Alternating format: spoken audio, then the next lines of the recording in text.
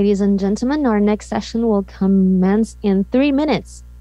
Please kindly, kindly take your seats and please get ready in line to join our next session, which will be the tutorial session at 3 o'clock, 3 p.m. Taipei time.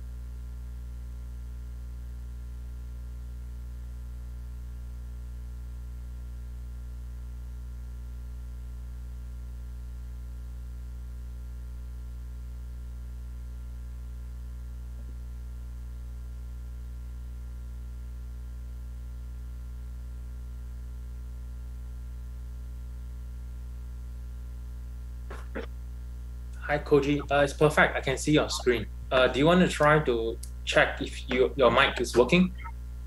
Yeah, actually, I can see the screen, but uh, do you see that uh, my slide? Yeah, I can see your slide as well. I see the moonshot logo. Okay, perfect. Bottom left. Perfect. Yes, and I can hear you loud and clear. Thanks. Perfect. Thank you.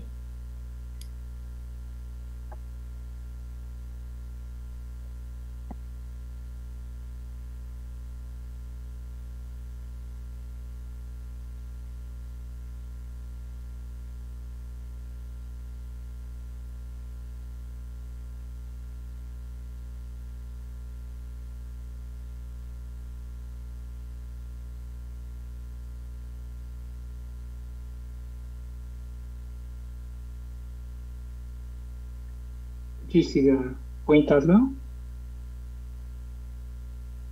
Sorry, Koji, did you say something? Ah, could you see the my laser pointer? Yeah, I can see your cursor. Uh, it's in red color. Yeah. Okay, Okay. Thank you.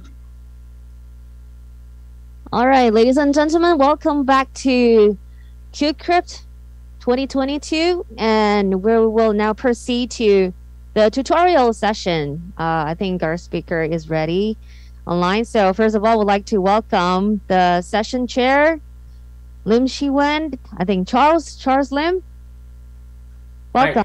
Yeah, thank you. Yeah, without further ado, let me quickly introduce Koji Azuma. So Koji, you know, he received his PhD in physics from Osaka University in 2010, and in that very same year, he joined NTT Basic Research Lab, right? And his current interests are quantum information theory, spe- specifically for building the theory for uh, quantum internet.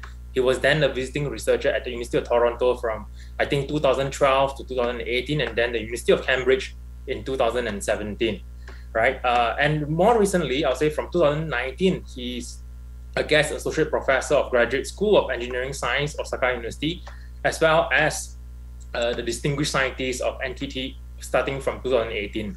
Um, you know, I've been following Koji work for, for many, many years, right? And uh, he's a very famous researcher in quantum information theory as well as quantum repeater technology. And one of the work that I really like a lot is his uh, nature of communications work in all photonic quantum repeaters, that, uh, whom he shared with uh, Kiyoshi Tamaki, a friend that we also both know, and uh, Professor Hoi Kwong Lo from uh, University of Hong Kong, right? Uh, he recently moved there. And in that work, you know, they, they show that uh, the high demands, right, of a quantum repeater can be circumvent, right, with an all photonic setup that is based on you know cluster state machine as well as a loss tolerant management scheme. So without further ado, Koji, I'll hand over the floor to you, and uh, we look forward to receiving questions at the end of your presentation.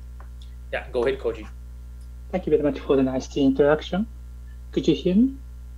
Yes, we can hear you. Okay, then let's start. First of all, I'd like to thank the organizer for giving me the opportunity to give a talk here. My name is Koji Azuma. Uh, the title of my talk today is Quantum Repeaters for Quantum Internet. Start. As you might know, one of our ultimate goals is to realize the so-called quantum internet. The concept of the quantum internet has been explicitly mentioned by Kimble in a paper published in Nature 2008. In fact, the title of the paper is the quantum internet itself. Besides, the paper motivates to consider the quantum internet by stating that quantum networks provide opportunity and challenges across a range of intellectual technical frontiers, including quantum computation, communication, and metrology. I completely agree with this notion. In fact, the concept of the quantum internet is abstract enough to include various kinds of quantum information processing tasks, such as quantum repeaters, distributed quantum computing, quantum simulation, a quantum network of clocks, and longer baseline telescopes. So building the quantum internet must be the challenge for us. What is the quantum internet? The quantum internet is a functionality of a quantum network to achieve quantum communication over the globe. Let us imagine a quantum communication network described by this graph. Then the functions of the quantum internet are explained as follows. The goal of the quantum internet is to supply arbitrary clients with entanglement efficiently.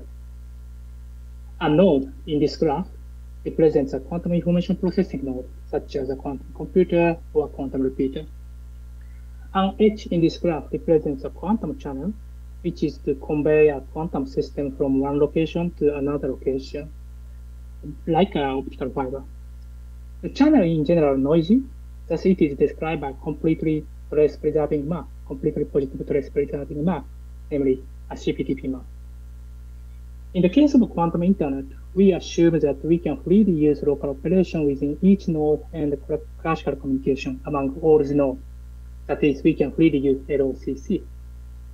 The existence of this kind of free resource is different from the paradigm for the conventional internet. For example, an edge in the graph may represent optical fiber connecting distant places. The edge may represent a mode in the air connecting separated islands. The edge may correspond to a microwave transmission line connecting superconducting qubits or the edge may represent a mode in the free space connecting a satellite and a ground station. Therefore, the quantum internet is an abstraction of various kinds of possible quantum networks in the future. In this tutorial, I review what is a quantum internet and how to realize it. This is the goal of this tutorial. To accomplish such a goal, I start by clarifying the possible application of the quantum internet by introducing such application, I want to emphasize that entanglement is a resource for various kinds of quantum information processing. Then I will explain how to share entanglement in practice and reveal the problem of direct quantum communication. And I will introduce the concept of a quantum repeater and explain its working mechanism. Then I will introduce the concept of the intercity QKD as a possible milestone.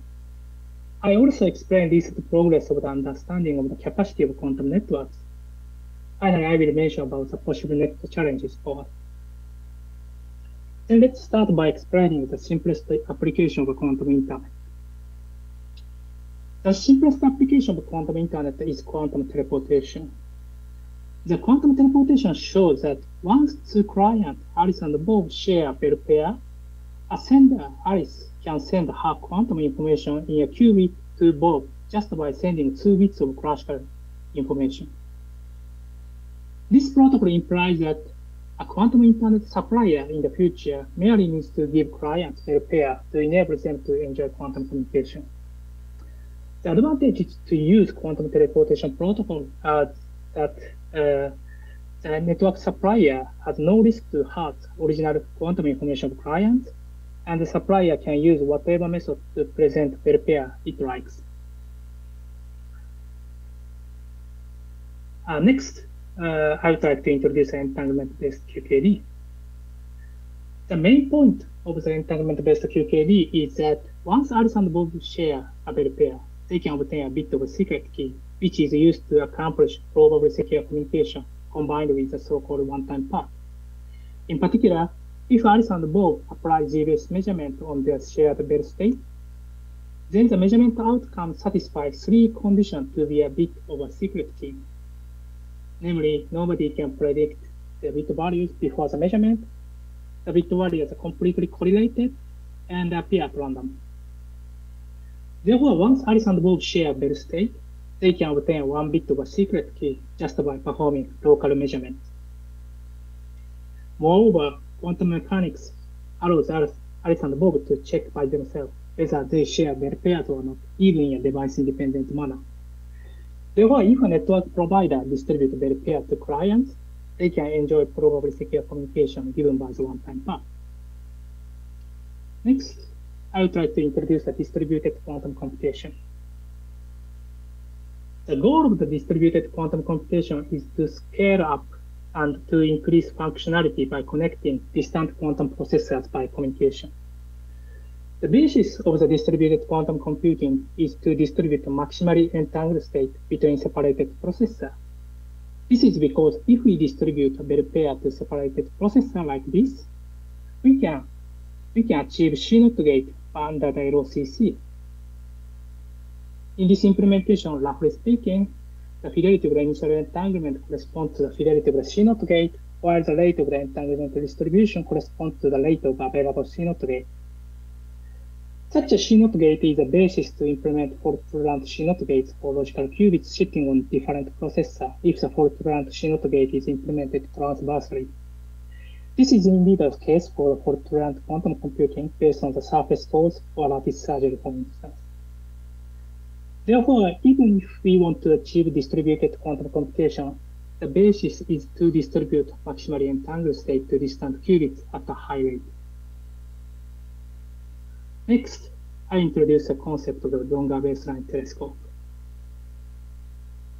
Interferometry among telescope arrays is a standard technique in astronomy for example, the Event Horizon Telescope collaboration uses a large telescope array to get a black hole shadow like this. In fact, the telescope array used there was composed of radio telescope. However, in general, we would like to detect light with an optical or infrared region. In this case, we need to use optical and infrared interferometry. The interferometer is used to resolve the location of the light at the place far from the Earth. And the resolution depends on the baseline B described here. Notice that a longer baseline B leads to a higher resolution of the telescope. However, in practice, the baseline B is limited to a few hundred meters because of the phase fluctuation and photon loss in the transmission to the interferometer. To overcome such a limitation of the baseline, Gottesman et al. proposed that we should distribute the pair in advance between distant telescopes and use them to perform the better measurement on distant optical pulses the distant telescope can see. Therefore, again, the distribution of the maximally entangled state between distant telescopes is also the basis to achieve the longer baseline telescopes. Next, I introduce a so-called quantum network of clocks. The final goal of the quantum network of clocks is to make a single international clock with a high precision. To do so, in the protocol, we prepare all the clock qubits distributed over the globe in a GHZ state and then perform the X-based measurement after the time evolution. The quantum protocol is shown to have square root improvement in terms of deviation of the center of mass frequency over classical ones this is like an effect which appears in quantum metrology often. Besides, the quantum protocol guarantees security both from internal and external threats like QKD.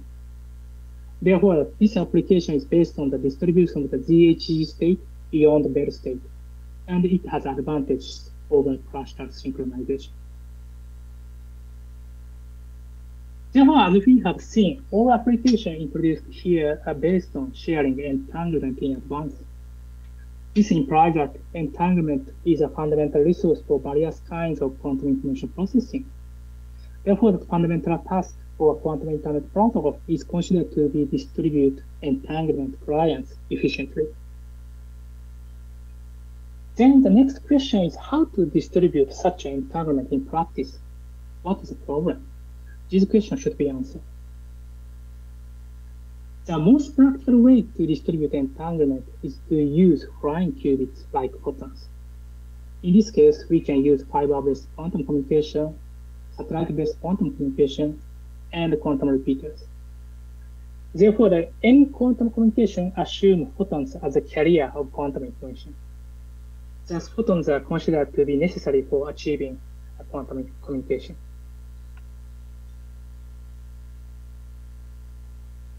Let us consider the simplest way to distribute entanglement, which is based on direct communication quantum information. In this scenario, Alice first generates a bell pair between her qubit and a single photon locally, and then she sends a single photon to both by using a quantum channel between them. Here, let us assume the length of the channel is L and consider a do nothing middle node located at the center between Alice and Bob. Then let P of L is the transmission probability of a single photon for distance L. Then notice that the probability with which the single photon arrives at the middle node is described by P of L over 2 from the definition. Besides, the probability with which the single photon arrives at the location is described by square of P of L over 2. Since this probability should be equivalent to P of L from the definition, we obtain this type of equality. Notice that blue 2 here corresponds to square P, square of P. On the other hand, let L over 2 correspond to the argument L over 2 for the function P. Thus, if we repeat this consideration, we arrive at this equation. That is, the transmission probability from Alice to Bob is the transmission probability per unit length powered by L. Therefore, P of L is exponential with distance L.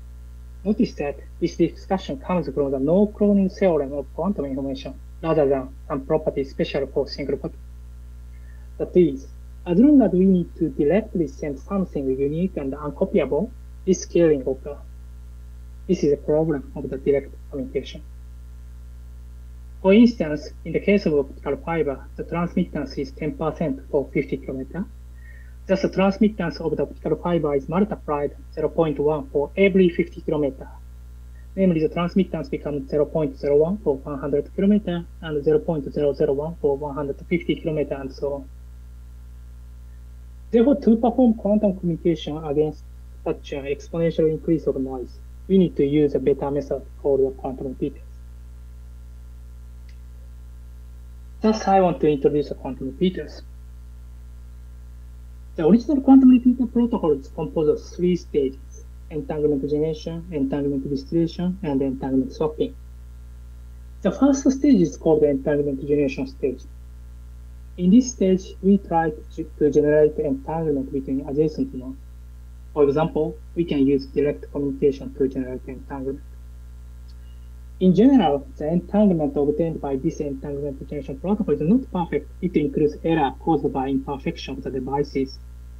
Therefore, after generating such multiple noisy entangled pair between adjacent nodes, we move, we move on to the second stage called the entanglement distillation stage. The goal of this entanglement distillation stage is to distill a stronger entangled pair from multiple noisy entangled pair by using LCC. That is, by using multiple noisy entangled pair, we obtain a fewer number of entangled pair which have a higher fidelity than the fidelity of the original entangled pair. Through this stage, we have a situation such that all the adjacent nodes are connected by entangled pair with a high fidelity, like this. Then we proceed to entanglement swapping stage.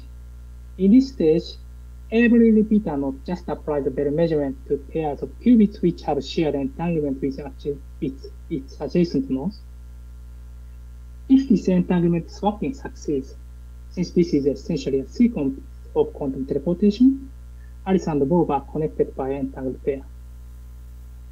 If this final entangled pair has a fidelity high enough to achieve some application, it can be used to directly expose that. However, if the final entangled pair becomes weak for the application, we may again come back to the second stage, the entanglement distillation stage, by regarding the final entangled pair of the swapping as the initial entanglement for the distillation. The output of the distillation can also be regarded as the initial entanglement for the swapping. That is, we can repeat the second and the third generation, uh, third stages until two end clients obtain a longer and a high fidelity entangled pair. Notice that in this cycle, entanglement behaves as if it is a self-similar object. Such a self-similarity can be found even in the nature related with scaling up in general. Indeed, it is the basis of quantum repeater-like concatenation in quantum collecting force. To understand the mechanism of scaling up, let's focus on the simplest quantum repeater protocol called the Duan-Lukin-Cirac-Zoller protocol, i.e. DLCZ protocol in short.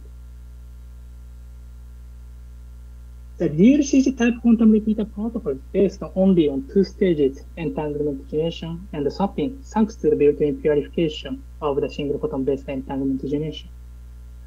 For simplicity, we assume quantum memory, namely written by green qubit, are perfect, and the only source of noises is photon loss in the channel, for simplicity. In the entanglement generation stage, each repeater node first generate entanglement between a quantum memory and a single photon locally. Then the single photon is sent to the middle node. The node performs a linear optical Bell measurement. If the Bell measurement succeeds, as a feature of the same implementation called built-in purification in the original paper, a pretty high quality entangled pair is observed to distant quantum memory. Namely, the fidelity of the obtained entangled pair is pretty high in this case. In fact, the original paper includes a figure to describe this protocol where atomic ensembles are used as quantum memory. This entanglement generation process succeeds probabilistically. Uh, the success probability is proportional to a function exponential with distance L between quantum memories. Is owing to the photon loss which increases exponentially with distance L. Therefore, one can notice that entanglement distribution based on this method alone is extremely inefficient for long distances. Therefore, the entanglement generation protocol should be combined with entanglement swapping. The entanglement swapping is executed by performing Bell measurement after confirming the successful sharing of Bell state with adjacent nodes. This Bell measurement especially can be called adaptive Bell measurement. Again, the original DLCZ paper includes a figure to describe the situation where the excitation of atoms are transferred into photons and then Bell measurement is implemented by using linear optical elements and photon detector. In this case or in some other cases, the entanglement swapping works only probabilistically. But notice that success probability here depends only on imperfection of the local devices rather than distances. This is important. Now, I explain the working principle of quantum repeater. If you understand this guy, you would also understand the basic idea of quantum repeater. As I have said, the DLCZ type repeater protocol is composed of the entanglement generation and entanglement swapping. For simplicity, here we assume the existence of a single repeater node between Alice and Bob. The repeater node starts by running entanglement generation protocol in parallel with Alice and with Bob. Suppose that the success probability of each entanglement generation protocol is described by PG here, then the average number of trials needed to share entanglement with both sides is about 1 over PG, thanks to quantum memory, which enables the repeater node to keep successfully established entanglement. After that, uh, we proceed to the entanglement swapping stage. Here we denote the success probability by PS. Then the average number of trials needed is described by 1 over PS.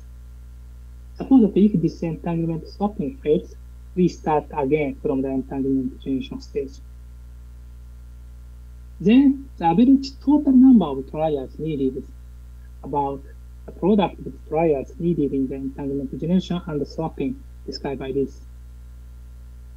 Then notice that this total trial number becomes smaller than the number of trials needed when we run entanglement generation protocol directly between Alice and Bob without using a repeater node, which is exponential with 2L0 according to the expression of the PG, where we need to replace L0 here with 2L0. Moreover, as long as the success probability PS of the entanglement swapping is constant, we see that single repeater node gives a square root improvement over direct entanglement generation. Namely, the existence of a single repeater node could present a square root improvement. Let us consider a bit complicated scenario where there are three repeater nodes between Alice and Bob. By similarly considering the number of trials needed to establish entanglement pair between Alice and Bob, we can see the total number of trials needed now described by this form, which is still merely exponential with distance L0 between adjacent repeater nodes.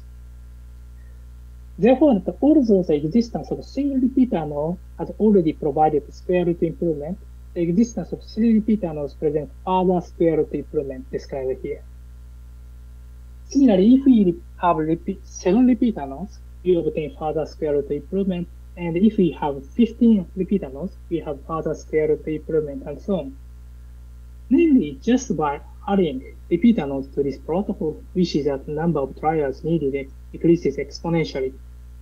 This is the essence of the exponential improvement of quantum repeater.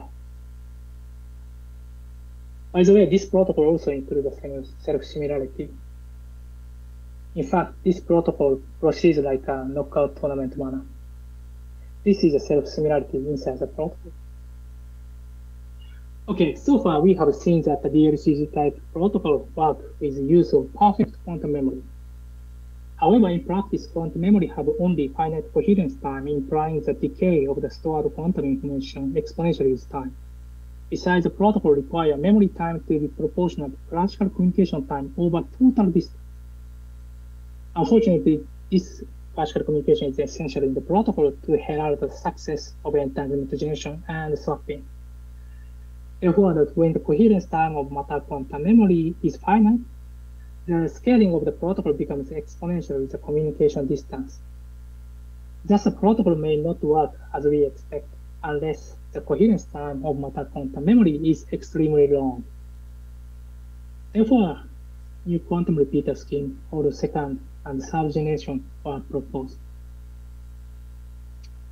In the second generation quantum repeater protocols, we regard quantum memory, i.e. green qubit, as logical qubits based on quantum error correcting code, and we assume that we can apply the error measurement to the logical qubits deterministically rather than probabilistically.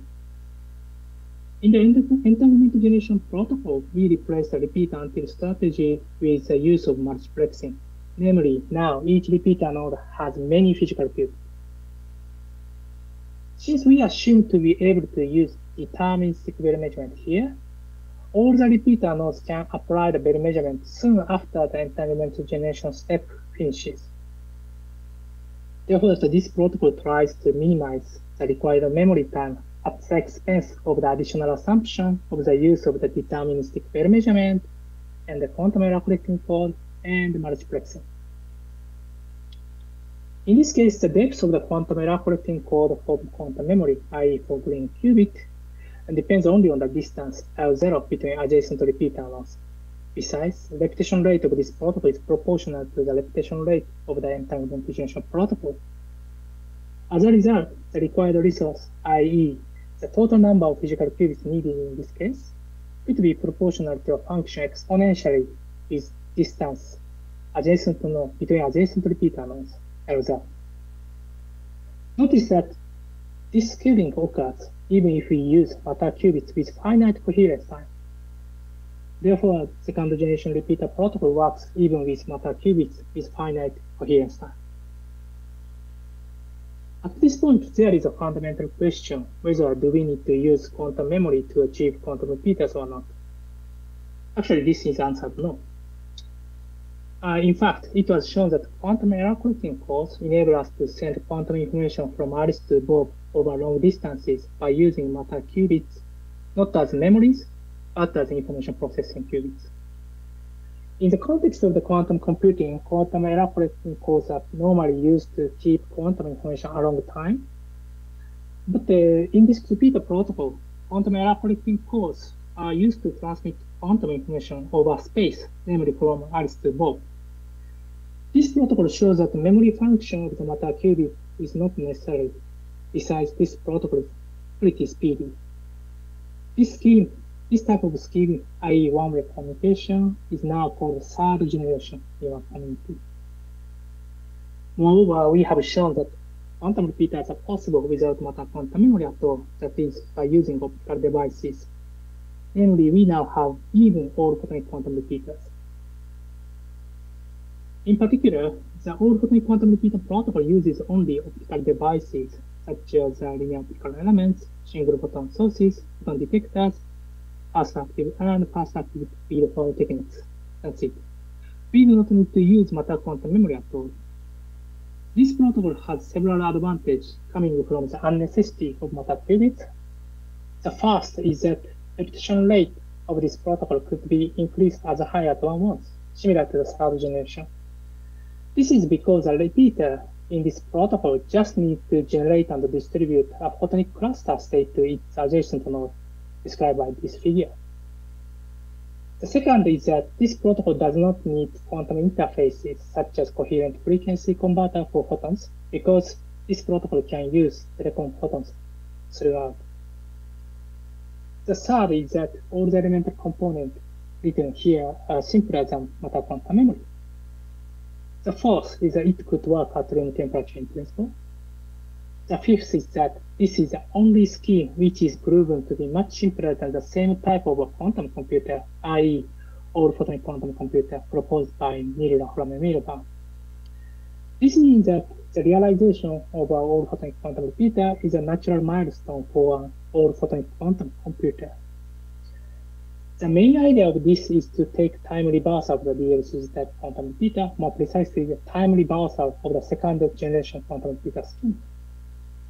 If you are interested in this protocol, you can check my talk at QCrypt 2050 in the YouTube. Therefore, we can now several kinds of repeater protocols. The differences are summarized in this table. For instance, matter quantum memories are needed from past to third generation, but not needed for all photonic quantum repeaters. First generation quantum repeaters do not do not need gates among quantum memory, but second and third generation protocol needs such a gates. Therefore, compared with second and third generation, first generation looks practical apparent. However, the memory time required by first generation protocol is pretty long, and thus first generation protocol is pretty slow.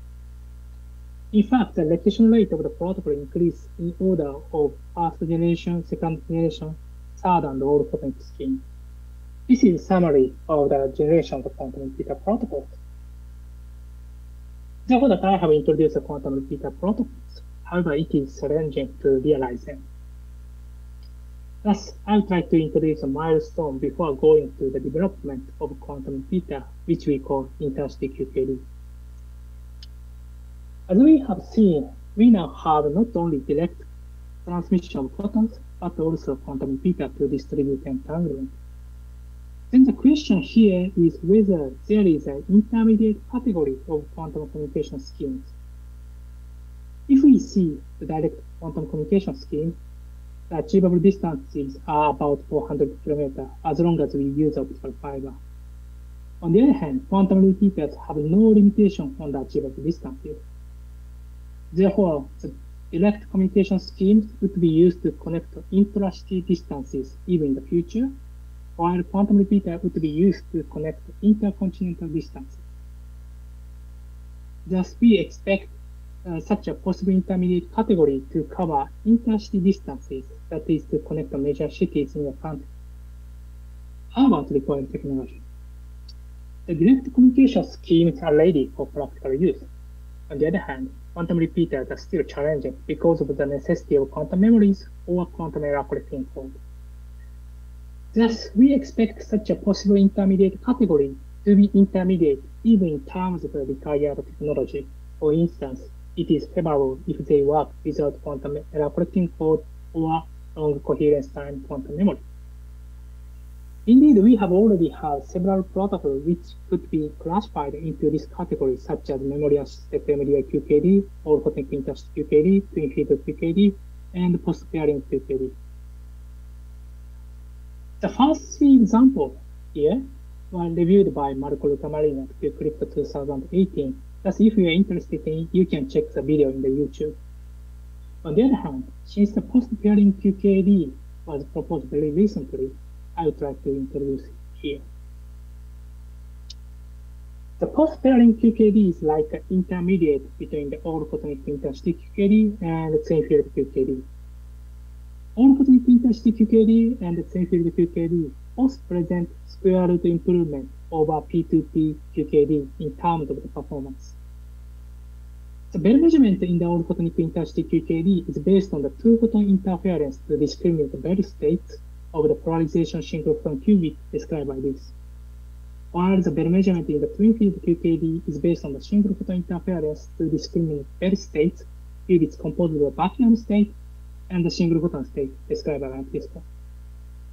To see the difference, let us consider the phase shift or annihilation operator. In the case of the two-photon interference, the effect of the phase shift appears the difference in the phase only between polarization in Alice's channel and between polarization in Bob's channel. Thus, this effect can be cancelled out if both polarizations receive the same phase shift in each channel. This is important. On the other hand, if we consider the same effect for the case of the single photon interference, the effect appears as a difference in phase between Alice's pulse and Bob's pulse. Besides, the phase shift occurs proportionally to the frequency of photons, i.e. very speedy.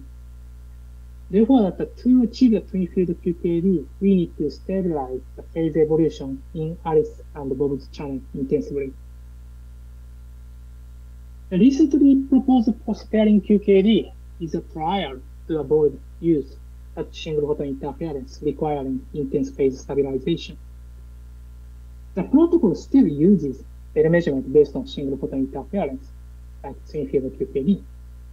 But in that protocol, Alice and Bob send optical pulses to the middle node sequentially to use a merit of multiplexing like all photonic intercity QKD. The essence of this design is to post-select event where a Bell measurement is successfully applied to time-bin qubits. But in contrast to normal time-bin qubits, time bins here could be separated over very long distance, written by I and J here. For this Bell measurement, if we consider the same phase shift for annihilation operator, the effect is very similar to that in the case of two-photon interference, as you can confirm from here.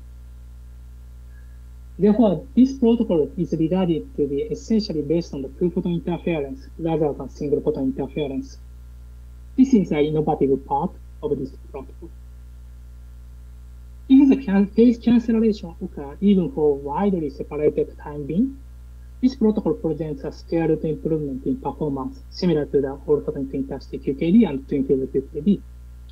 As a result, the protocol could also outperform the capacity of the P2P optical QKD by using two photon interference. In this graph, uh, this linear line is an almost linear line is the capacity of the P2P QKD. Thus, you can see that the performance of this protocol could outperform such a P2P capacity. Therefore, the realization of this QKD scheme, which can outperform the capacity of P2P QKD protocol, is important not only as a solution for intercity communication, but also a milestone for quantum repeater. So far, we have considered various kinds of protocols. Next, we would like to change the topics a little bit. Uh, that is, we consider possible performance, which is achievable in principle, namely capacity of quantum networks, and how to bound them. As I have introduced, the goal of the quantum internet is to supply arbitrary clients with entanglement efficiently. However, what is the most primitive function of the quantum internet? It must be two-party communication over the network. In this case, the goal becomes the most specific. That is, the goal can be regarded to, to give two clients, Alice here and Bob here, for example, with E bits for quantum teleportation or P bits for QKD.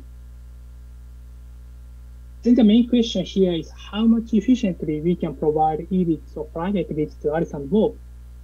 This paper have tried to answer this question on the potential of quantum internet. To answer this question, we start by defining the Sorry? Okay, to answer the question, we start by defining the most general protocol. Of course, any protocol needs to start by preparing separable state. In this preparation, they may use LOCC as well. Then we use a quantum channel to send a quantum system from one node to another node. After that, we perform the LOCC, which presents outcome K1 with some probability PK1. Then, depending on the outcome of the LOCC operation, we may use a quantum channel in the network. Then we perform the LOCC, which presents outcome K2 with some probability conditioned by previous outcome K1. We continue to use a quantum channel and the LOCC alternately until we get a favorable outcome.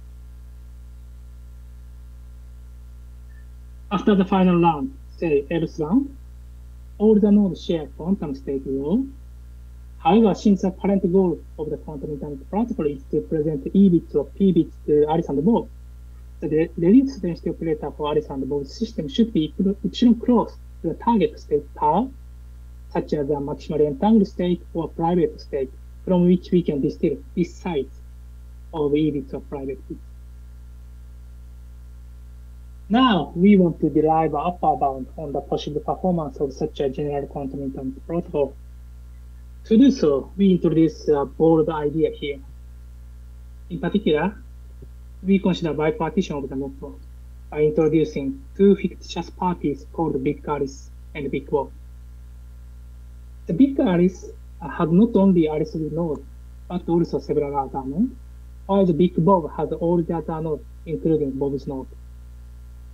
For instance, in this graph, we can assume that a big Alice has all the nodes in this orange region, while a big Bob has all the other nodes in this blue region. Then we can regard the given quantum internet protocol as just point-to-point -point communication between big Alice and big Bob. And we can apply upper bound to this simple P2P communication between big Alice and big Bob. As long as we are interested in deriving upper bound of the performance, this should be okay. Because uh, if there is a quantum internet protocol which finally provides some size of E bits or P bits to original Alice and Bob, then the protocol should at least provide the same size of E bits or P bits to the big Alice and big Bob. Therefore, the upper bound on the P2P communication between Big Alice and Big Bob should also be an upper bound on the original quantum internet protocol between Alice and between and Bob. For simplicity, uh, here let us follow the Takeoka Guha Wilde bound on the quantum or private capacity from point-to-point schemes. As a result, we obtain this type of very simple upper bounds namely for any choice of the bipartition, that is for any choice of big Alice and big Bob. The average size of obtainable E bits of private in, in the left-hand side is upper bounded by the right-hand side of this inequality. The second term uh, in this right-hand side, G epsilon becomes negligibly small if epsilon becomes zero. Uh, here, L bar E represents the average number of uses of quantum channel NE. This ESQ describes the squashed entanglement of the channel. Besides the summation here is taken over all the edges connecting big Alice and big Bob. Most importantly, this upper bound is a single letter formula. Namely, we can always estimate the right hand side, at least its upper bound. Since we now have an estimatable upper bound on the size of obtainable E bits or private bits, let us compare it with the performance of existing protocol.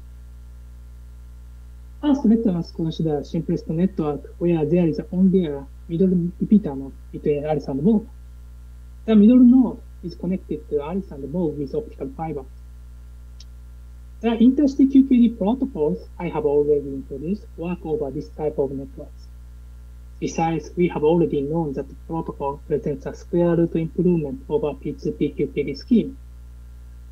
For instance, we compare the performance of the all-photonic intercity QKD with such a general upper by using this graph.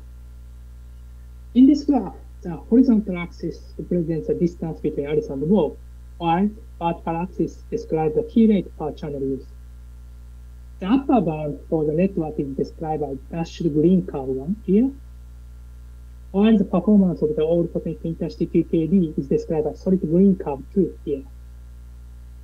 As you can see, the performance of the all-photonic intercity QKD has no scaling gap with upper bound. This implies that the obtained upper bound here is pretty good. Besides, we see that we cannot dramatically improve existing intercity QKD protocol in terms of the performance anymore. Similarly, we can consider linear fiber network. Quantum repeater protocol work over this type of network. Even in this case, by considering idealized achievable quantum repeater protocol corresponding to the second generation quantum repeater scheme, we see again there is no scaling gap between the performance of such a achievable quantum repeater protocol and the general upper bound. In this graph, the dashed curve represents the upper bound, while the solid curve represents uh, performance of such an achievable second generation protocol. In this graph, uh, n represents the number of repeater nodes between Alice and Bob. Therefore, we can also conclude that obtaining the upper bound is pretty good, as well as we cannot dramatically improve some of the existing quantum repeater protocols in terms of the performance anymore. Also, I have introduced upper bound based on the squashed entanglement. We now have another upper bound based on the relative entropy of entanglement this bound is based on the hybrid use of the relative entropy of entanglement and of relative entropy of entanglement. In particular, given Choi of the bipartition, the upper bound uses the relative entropy of entanglement for the so-called choice simulable channels, while it uses the max relative entropy of entanglement for the other channels. This upper bound is also in a single letter formula, thus we can always estimate this bound is a generalized version of a relative entropy upper bound originally given by Pirandola. Uh, we now have introduced uh, general upper bounds on the obtainable EBITs of private bits through a quantum internet protocol over arbitrary network. Thus, we want to introduce a quantum internet protocol which works over any quantum network beyond linear networks which is called aggregated quantum repeater protocols. This protocol looks like parallelizing quantum repeater protocol, by the way. Suppose that we are given the maximum number of uses of each channel here. Then the aggregated quantum repeater protocol is defined by the following two steps. The first step is to learn entanglement generation scheme by using every quantum channel allowed number, maximum number of times, and this type of by using this type of channel. This entanglement generation is assumed to be combined with the entanglement distribution if necessary. As a result, we can assume that this entanglement generation steps present delta cross L times R delta E copies of a Bell pair. Here, R represents efficiency of the entanglement generation. Through the entanglement generation protocol, we obtain a Bell pair network exemplified by this multigraph. Here, each edge corresponds to an e bit. For instance, between C6 and C5, we have two edges now, i.e. two e bits after the entanglement generation. At this point, the channel network is converted into a Bell pair network. Thus, we can focus on this pair network. Notice that uh, one AB path in this Bell pair network can be transformed into one EBIT between Alice and Bob if we perform entanglement swapping along this path. Therefore, the second step of the aggregated quantum repeater protocol is to perform entanglement swapping along AB paths to supply Alice and Bob with EBITs, as many as possible. Thus, this protocol looks like a parallelizing quantum repeater protocol between Alice and Bob. Then the question here is how many distinct AB paths exist in, the, in this given pair network? This is answered by Menger's theorem in the graph theory. This theorem states that in any graph D with two distinguished nodes A and B, the maximum number of pairwise edge disjoint AB paths is equal to the minimum number of edges in an AB cut. If we replace uh, this AB cut by using the concept of Alice and big Bob here, the number of edges in the AB cut means the number of edges connecting the big Alice and the big Bob. For example, let us consider the following big cards and big 4 for this network. In the case of this multigraph, this choice of the big cards and big 4, that is AB cut, presents a minimum number of edges in AB cut, In this case, 3. In fact, as suggested by Menger's theorem, in this graph, we can easily find three distinct AB paths, green, blue, and orange paths in this graph. These three paths can be transformed into the three E-bits between Alice and Bob by performing entanglement swapping. Therefore, in general, Alice and Bob obtain this number of E-bits with error described by this. Remember the form of upper bound, which is described by this, where the capital epsilon represents here, uh, represents an entanglement of the channel, such as a squashed entanglement or the hybrid relative entropy of entanglement. This upper bound is the same form as the E-bits obtained the aggregated quantum repeater protocol. Therefore, if there is no gap between the efficiency R and the entanglement of the channel epsilon, or every H, there is no gap between the performance of the aggregated protocol and the upper bound. In fact, this is the case for the quantum networks composed of pure loss channels. This is because there are efficient entanglement generation protocols, such as one based on single photon transmission or coherence transmission, satisfying these two relations. Therefore, at least in the case of optical fiber networks, the aggregated quantum repeater protocol has no scaling gap with upper bound. Besides, it gives a lower bound on the achievable performance of any quantum network. Namely, if the aggregated quantum repeater protocol uses entanglement generation over each quantum channel with rate described by this one and the error described by this one. The aggregated quantum repeater protocol gives a performance written in the left-hand side of this inequality. This is a lower bound on the maximum size of E bits of private bits obtainable in principle.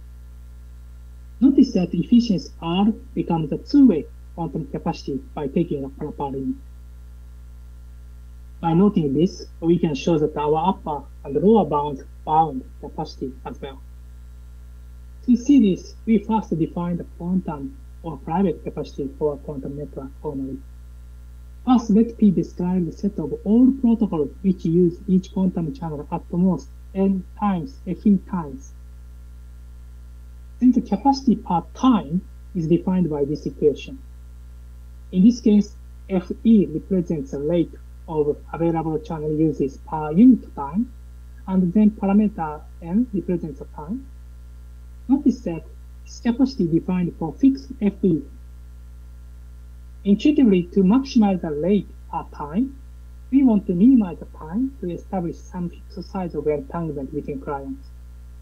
Therefore, this capacity is achieved only if we use a protocol which uses channels connecting Alice and Bob as many as possible, like an aggregated repeater. For this capacity, our upper and lower bounds provide inequality in the sandwich form. We can also define the capacity per total channel use by maximizing the capacity per time over normalized parameter Fe, like this. Since Fe is normalized now, like this, Fe represents the frequency of channel uses, and thus n, parameter n, here, represents the total number of channel uses. Intuitively, to maximize the rate per total channel use, we want to minimize the channel uses to generate some fixed size of entanglement between clients. Therefore, this capacity is achieved only if we use a protocol which chooses and uses the best path of channels connecting Alice and Bob only. Thus, to obtain performance closer to this capacity, we need to find the best path in the quantum network. For this capacity, our upper and lower bounds provide uh, inequality uh, in this sandwich form. Most importantly, from a fundamental viewpoint, the lower and upper bound actually coincide with the upper bound with the relative entropy for arbitrary networks composed of so-called distillable channels, such as the dephasing channels and lossy bosonic channels. Therefore, the aggregated quantum repeater protocol achieves the quantum or private capacities of arbitrary quantum networks composed of distillable channels. Besides, upper and lower bounds in similar forms are obtained in scenarios to distribute bipartite entanglement over multiple pair of clients and distribute multipartite entanglement such as GHZ state or multipartite private state to a set of clients. Moreover, this calculation can be done very efficiently by using linear programs. This efficient calculation is important for a network supplier in the future to determine a way to distribute entanglement over clients as quickly as possible according to the request from the client in the network.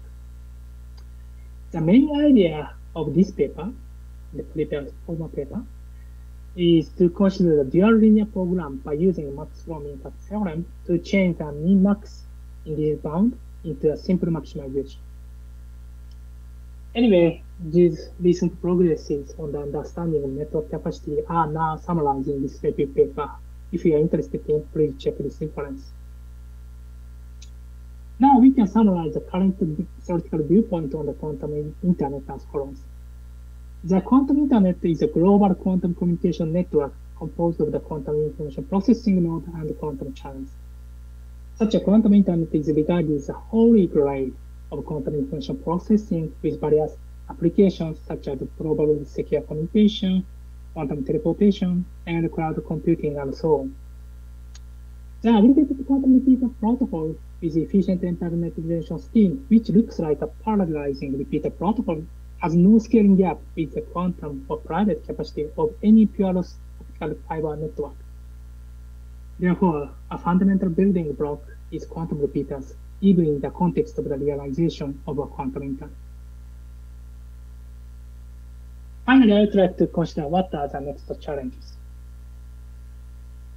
Recently, toward all-photon quantum repeater, two groups in Japan, Canada, and in China have succeeded in confirming the working principle of a time reverse implementation of the adaptive Bell measurement, which correspond to the entanglement sorting in the quantum repeater protocol. Yamamoto's group at Osaka University used the three-photon GHZ state while Pan's group at USTC used a 12-photon interferometer. Similarly, the proof of principle experiment for the adaptive Bell measurement have already been performed even with the matter quantum memory towards quantum repeaters. Lukin's group at Harvard uses silicon data color center in a diamond nanophotonic cavity. Duan group uses the rubidium atomic ensembles. Rempe's group uses a two rubidium atom in a high finesse cavity and Hanson's group uh, uses NV center in, in diamonds. Why is such adaptive measurement is important? Uh, notice that we have already known the limitation of the P2P QKD scheme, i.e. the private capacity of a Roche bosonic channel. This bound, called PLOB bound nowadays, described by this form by using uh, the transmittance of the Roche channel.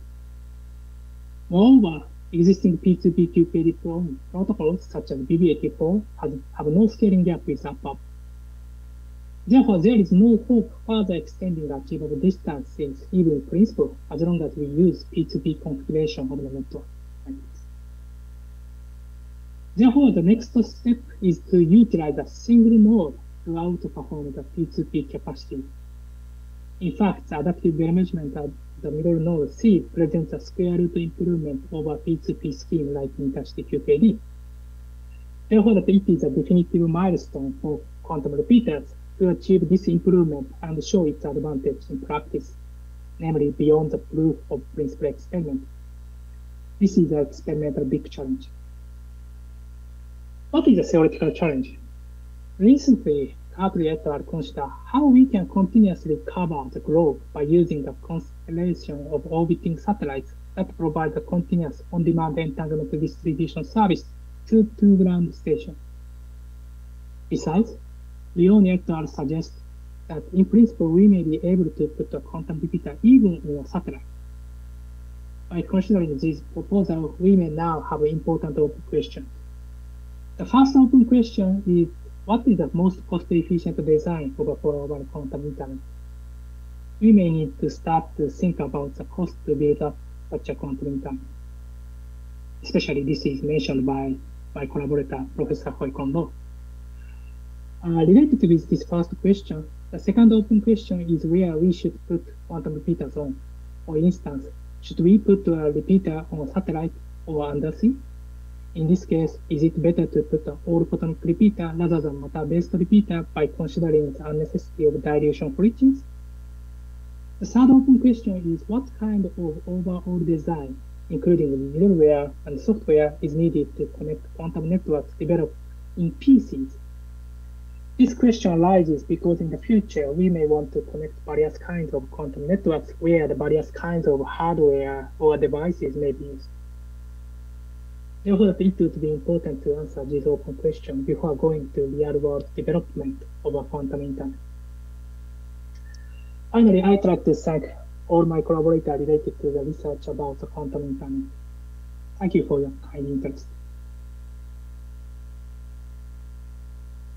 Uh, thank you, Koji, for the very nice and comprehensive, you know, tutorial on quantum repeater technology. Um, yeah, so let us open the, the, the, the, session to the floor as well, and students, postdocs, or even faculty members would like to ask questions. You know, please feel free to, to use our Q and A uh, chat function that you have. Uh, ask the question there. I'll read it out for you.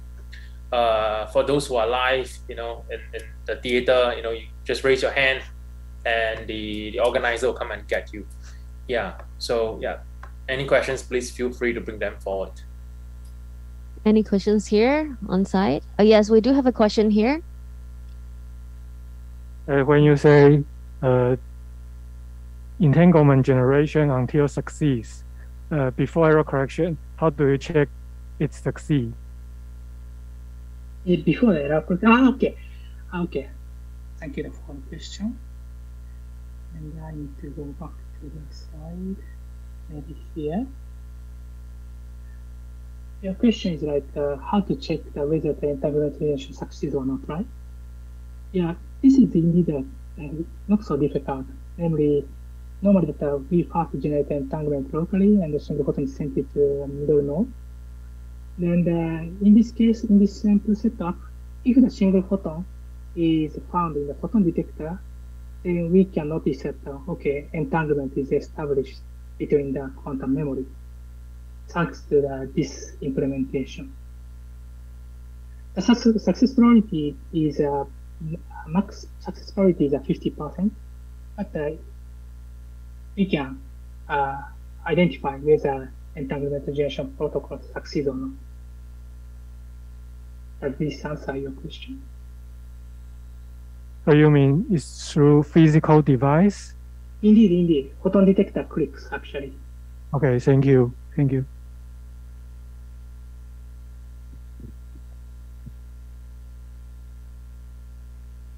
Yes, we do have another question here. Uh, yes. Uh, when you were discussing this uh, upper bounds. Okay. Mm -hmm. So when you, you said something about uh, estimatable upper bound. Okay. Mm-hmm. Does it mean that this is achievable? Right? These are different things. Ah, different things. That's a nice question. Thank you for the question. Actually, in the case of squashed entanglement, for example, this is estimatable, but uh, but we can estimate actually we can derive upper bound in this case, for example. This, but the upper bound is enough to bound the left hand side, right? If we know that the upper bound, it's okay. But on the other hand, and uh, in the case of the relative entropy of entanglement, we can exactly derive the, uh, this quantity in the case of the pure loss bosonic channels. Therefore, we can exactly derive this what is this quantity. And uh, that yeah, therefore, the sandwich formula as we have shown display side. Yeah, and the sandwich form, uh, normally uh, we can estimate the right hand side. In the case of pure bosonic channel, we have already known the capacity as well. Therefore, that we, we can sandwich, we can use this sandwich formula to know the capacity. In the case of the uh, quantum network based on the bosonic channel, in such a case, uh, the upper and lower bound coincide. Therefore, the, this sandwich inequality becomes tight. Normally, this becomes equal as an equal. Ah, okay, yeah. Thank you very much. Similar discussion can be applied to the even the lower bound. Because if we have some specific entanglement generation protocol, we can estimate the achievable performance, RE. This RE is a lower bound of the quantum capacity in general. Therefore, even if we cannot uh, derive the quantum capacity, we can have uh, this type of inequality. Yeah. Thank you for the question.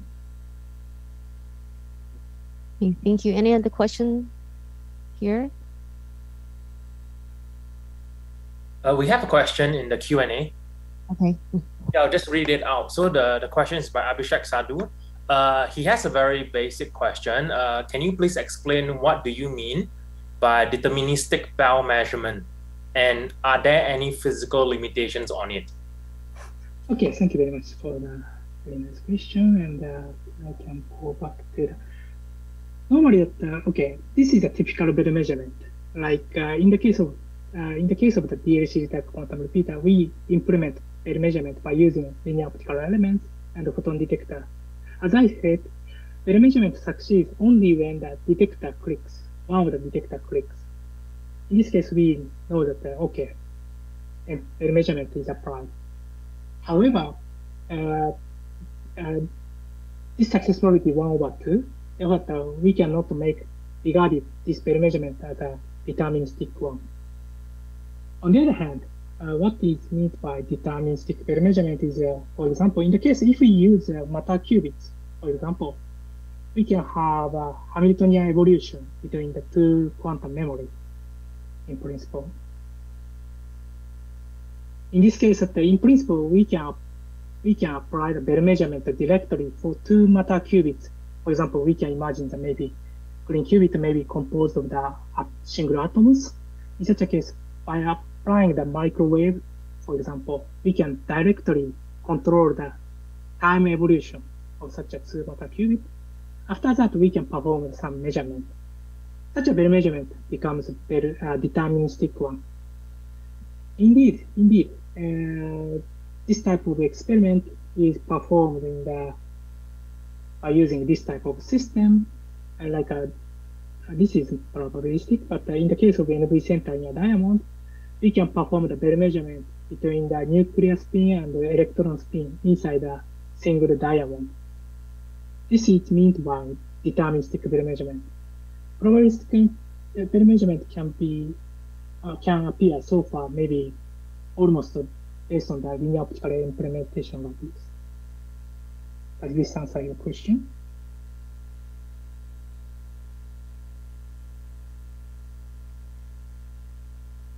I guess you did. He's not responding. Yeah. Okay. Yeah. So uh, to the local organizer on site, uh, are there any more questions? Are there any more questions here on site? Oh yeah, we do have one question here on site. Hi, Koji.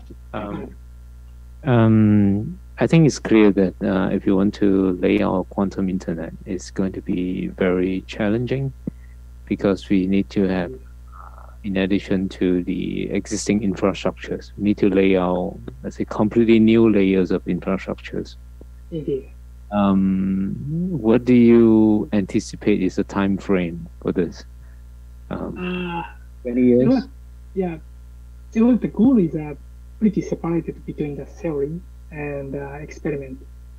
As I said, in the case of the experiment, anyway, we need to develop uh, uh, matter qubit uh, or photonic system so that we can apply the adaptive Bell measurement to improve the scaling of the quantum communication.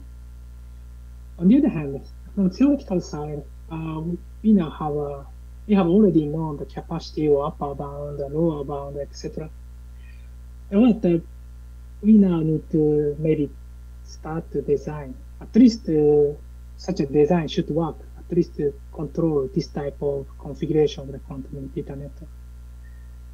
And uh, this is, yeah, I, I hope that this type of experiment uh, can be done in practice, but still uh, under the, just a proof of principle experiment in the lab. And uh, because I cannot predict when uh, such a development is really needed in the future. But uh, we need to, we can start to think about this one. Yeah, that's my opinion.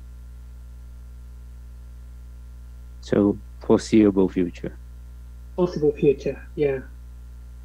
Okay. Like uh, there was uh, maybe my collaborator Hoi-Kwong suggested that maybe we need to okay quantum internet should be pretty great, but we need to start think about how much cost is needed to build up a quantum internet as well. But uh, yeah, this is related to this uh, uh, merit to use a quantum internet and uh, cost, right? But, uh, but we need to think about more such a time frame or etc. Yeah, thank you for the question. Yeah, very nice question. Yeah, I, I do have one more question online. Uh, it's asked by a very smart student. His name is uh, Emilien Lavie.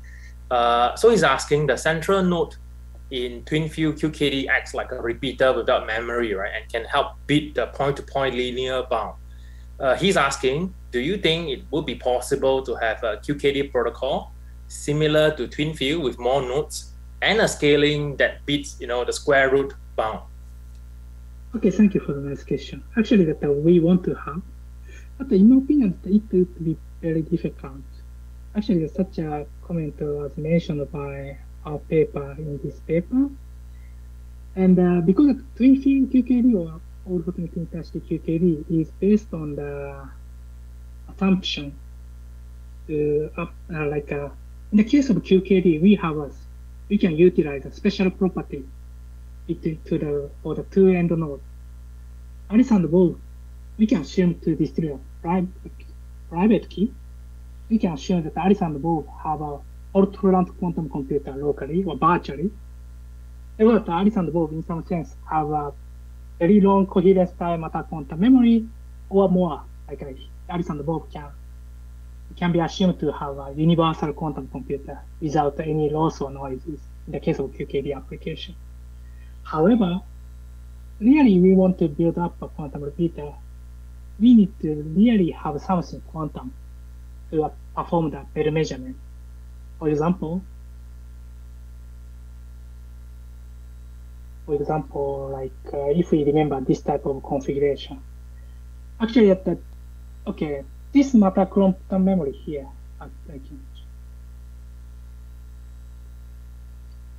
any measurement here, uh, this memory should exist here. Right? In the case of uh, twin-field QKD, we can assume, okay, in the case of we just use a single beta node, this node and this node held by Alice and Bob.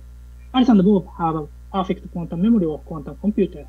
Therefore, we, this middle repeater node need to just perform their measurement. On the other hand, this node need to keep the quantum information until receive the heralding signal of the successful measurement here. Therefore, this repeater node really requires to have a quantum memory in this case. In the case of all photonic implementation, this implies we need to use quantum error correcting code. To achieve quantum repeater, by namely by adding repeater nodes more, uh, maybe in my opinion, uh, we need to have a quantum something. Like a mainly we need to expand the quantum volume like a quantum computing community. And of course, uh, if we issue you can find, then it's a game changer. Please try, but uh, in my opinion, that it seems to be very, very difficult or more looks like impossible. This is my opinion. Thanks, Koji. Uh, the question, uh, I guess, has been answered. Uh, any more questions from the audience on site and also online? Oh, yeah, we do have one question here on site. Hi. Uh, I think in the introduction you have mentioned one example of the repeater network in distributed telescope where, where they use for picturing the black hole. So ah, okay. application what Not used for the black hole actually. Black yeah. hole is shadow was already uh, so, captured by using on that how, what is the size of multipartite entangled state they have generated or is it bipartite when they ah. come from distant telescope to interfere them to make the picture? Ah, Ah, okay, that's a nice question. Actually, as I said, that uh, to make up a telescope array for the uh, to capture the photons in the optical or infrared region, we need to, this type of quantum interferometer. Then the question is uh, how much, what, at least that maybe we want to beyond the current limitation. Like uh, now, according to this paper, the baseline for the optical and infrared interferometer seem to be, the baseline is limited a few hundred meters now. And if we can beyond this distance, it's okay. But uh, actually, that this entanglementization should be made very quickly because of the, this I can we cannot predict when the light comes normally without uh, without predicting big event in the universe, for example. Therefore, normally we need to distribute this pair rapidly to the, such a uh, distant uh, telescopes. Therefore, yeah, this is challenging part. This paper says that we need to have a, very rapid preparation with this measurement at the state. Also, they require us to use quantum repeater. However, that, uh, actually, we need to take care of such a, a strict comparison. How much baseline or how, how long the baseline is needed really to be beyond the current limitation on the baseline telescope or the optical vision photons. Yeah, actually, I don't have any clear answer, but we need to start to seriously consider well, how, how long the baseline is needed and uh, how much rate of that entanglement distribution distribution is needed here. Yeah, thank you for the nice question. Yeah. Thank you. Thanks. Any more questions from on-site and online? Okay, if not, uh, Koji, I have some questions. In fact, two questions. I have a really okay. basic question, uh, truly basic question. Can you go back to the earlier slides that you talk about, you know, uh, direct comms, right? The single photon. Yeah. Okay, okay, okay. Mm -hmm. I can go back. Okay, it's right here, right? Yeah, yeah. Um, mm -hmm. So here you you argue that you know um, quantum information, if you were to transmit a single photon over long distance, then you have this uh, exponential scaling issue, right? Yeah. Yeah. So uh, what you're doing here, in a way, you're assuming that um, a single photon equates a qubit. Is that right? Yeah. This is uh, more like just a simple uh, Gedanken experiment where that, uh, just a single photon, perfect polarization single photon is sent to the. Yeah. yeah. Uh, so my my you know the the part, second part to this question is that a single photon can be more than a single qubit, right? It can be multiple qubits. Ah, uh, you mean okay? Uh, that's a nice question. Yeah, but the. Mm... But this is also not really the, the, the meat of the question, right? The, the, the other half of it, when you look at it from the other way, is that you can also encode a single qubit across multiple photon, right? Like a yeah, single photon means that they're just like a bosonic space spanned by a vacuum or single photon or single photon polarization space. This is mm-hmm. what it means by this one. Yeah. But uh, your question is based on that uh, we could encode many many degree of freedom for the optical pulsing, right? But uh, this essentially that was answered by PLOB bound, right? Yes. Like, uh, yeah. yeah, yeah, yeah. Therefore, uh, maybe of course uh, this this consideration is very simplified, but even if we encode uh, more degree of freedom for the single mode of the annihilation filter, anyway, this scaling occur uh, according to the PLOB bound. This is the main result of the yeah. PLOB bound. Yeah. So, of course, the, yeah, go, go ahead, sorry. Yes, uh, somebody is telling me time is up, but I would like to finish my question. So yeah, here is that we can also you know encode a qubit into you know uh, multiple photons, right? And that would essentially bring us to the to the repeater scheme based on quantum error correction code. Mm-hmm. So would you agree that you know by increasing by breaking the assumption that a single photon means a, a, a qubit, right? You essentially would be able to overcome this this bound that you you mentioned here. Mm-hmm.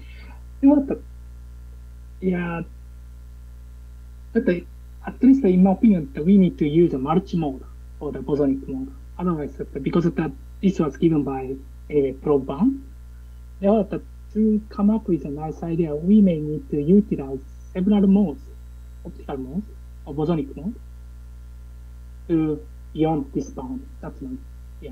Mm. Okay, yeah, thank you.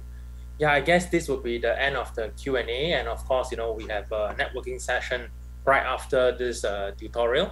So for those of you who want to stay back and you know ask Koji more questions or ask uh, Liang Gege about what funding he would have, you know, moving forward with respect to quantum internet, please uh, tune to that session. Otherwise, let us give, you know, uh, Koji a round of applause and thank him for his effort for this tutorial.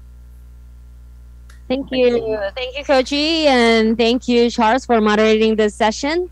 And um, our next session will be at 4:45 Taipei time. So please join us back at 4:45 Taipei time for our next session. Thank you. And for our audience on site, uh, we have snacks and coffee and tea served at the hallway as well. So please enjoy and be back at 4:45. Thank you.